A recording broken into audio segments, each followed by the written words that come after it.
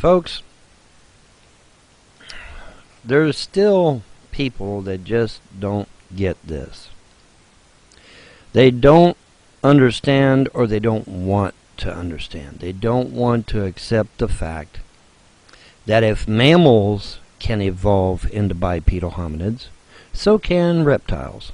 What in the Sam Hill? Oh, that's such a weird opener. It poses a ridiculously obtuse question. Do I believe that reptiles could never evolve into humanoids like he says? Or am I going to take that the way it's meant to be taken, given that beautiful looking reptile man next to his head there, that reptiles exist nowadays? What exactly is that question supposed to be asking? They want to keep ignoring the fact that evolution, if it's legitimate, if it's real, would have to support the evolution of reptiles as well as mammals. Charmander looks funny. It's evolving. Granted, I'm no evolutionary biologist, but to my knowledge, I don't think there's anything in the laws and rules and organization of evolution that says reptiles can't do something. Pretty sure evolution just works the way it wants to work. The interesting thing about it is that most of the dinosaurs, supposed, that we have on file already walk on two legs. They already walk on two legs. Yeah, gonna need a big old fat citation on that quote there, buddy. So how big of a leap then is it for them to become a bipedal hominid? Not very not very much. Not very much at all. Bipedalism is walking on two feet. Being a hominid is being a member of a, of a specific biological family, the great apes, if you will. You don't become a great ape by walking on two feet. If you mean looking human, then you need a bit more than walking to do it. There's plenty of animals out there that walk on two feet that I ain't calling human. Whenever you confront someone, unless they've already been delving into this and, and you know had, and have uh, uncovered actual archaeological evidence, doesn't matter how big of a scientist they are, they'll, they'll flat deny it. They don't, for whatever reason, want to accept the fact that if mammals can evolve, reptiles can too. Is that even a straw man? It's hard to tell because it's such a dumb fucking sentence. Of course, I believe reptiles can evolve. However, I'm gonna have to stop you when you tell me that these super sexy man monster beasts are walking around today. That I have a bit of an issue with. Irregardless of even that point, there is overwhelming archaeological evidence. There's overwhelming uh, te- uh, ancient text. There's overwhelming uh, even eyewitness accounts that have seen them today. You know, as recently as just a few years ago. Calling the evidence overwhelming is quite a stretch. However, that being said, irregardless, I look forward to him presenting the archaeological evidence, the historical textual evidence, uh, the anecdotal hearsay, oh, I saw a lizard man walking around. That's not going to do me a whole lot, though. it, you know, for me, it's a no-brainer. But uh, you know, there is still people that like to get a chuckle at my expense. Oh, and this came for you, Pierre. Hey! It's okay for mammals to evolve into a bipedal hominid, but not those damned reptilians. Even though the vast majority of them were already walking on two legs. Velociraptor, Tyrannosaurus rex, Iguanodon, already walking on two legs. How many times do we have to teach you this lesson, old man? Being bipedal does not make you a hominid. And being a hominid is not a human. Hominid is the great ape family. Reptiles don't evolve into apes.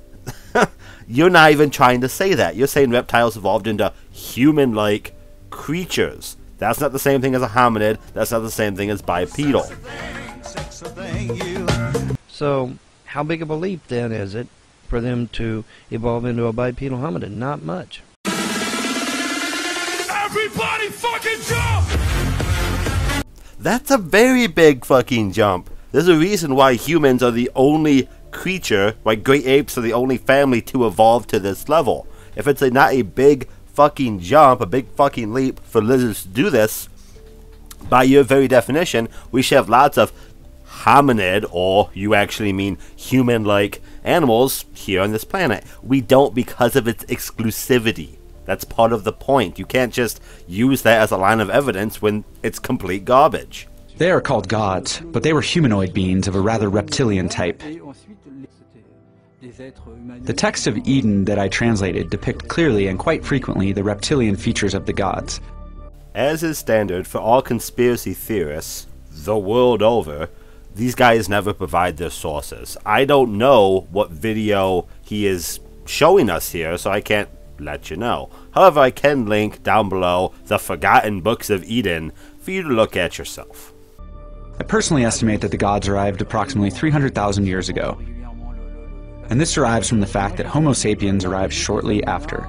I say this because throughout the text, genetics and the transformation of the human being are recurrent themes.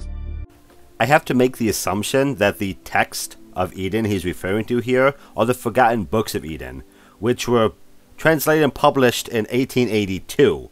So I don't know what he's translating. These things have been in existence for well over 100 years. The two particles that compose the word Eden are E, which means home, and Din, or Tin, which is life. But indeed, they are not alone. Humans are already on Earth. Who are these human beings? All right, so you have an actual archeolo- ar- archaeologist who just happens to be French um, telling you in no uncertain terms that you know the reptilians, aka the Anunnaki, are legit.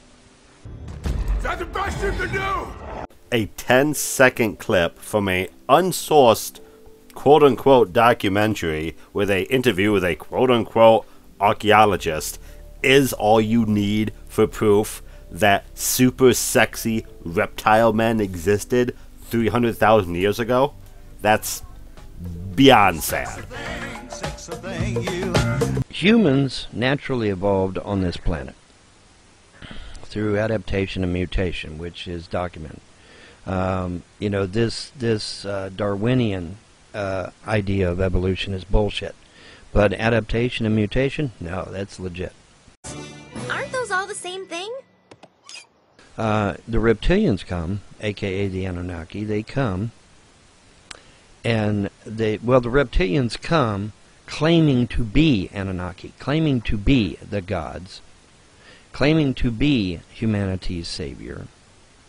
But in fact, we find out that the Garden of Eden is not a paradise. The Garden of Eden is in fact a slave camp for the reptilians to enslave humankind. First of all, that's a really metal hot take, so kudos to you. Secondly, if these reptilian creatures have the technology and the power to travel the many, many light years to reach us, why do they need to use us as slaves? How, I mean, this is off the top of my head, but then again, so is his shit, right? If you have the power to travel those long distances, you don't have the machines necessary to dig up the dirt? it's stupid juxtaposition. to be used for various things, including food, I might add. That seems reasonable. All right, so um, there's there's one misconception that uh, has been dealt with right there. Let's do this. Let's go.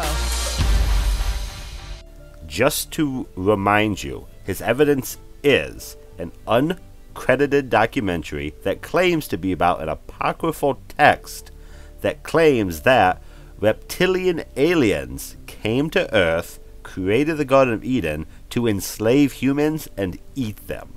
That's the evidence. Man, this is some bullshit! According to the ancient Sumerian writings, the Garden of Eden was a slave camp run by the reptilians. I keep hopping on this issue because it's important. You need to provide citations. I'm not going to dig through every scrap of some ancient Sumerian text to try to find evidence of reptilian gods enslaving and eating people. The very least you can do is give a link or maybe a name of a text or a location in that text that validates your argument. Why do you people never do this? Hmm. Really makes you think.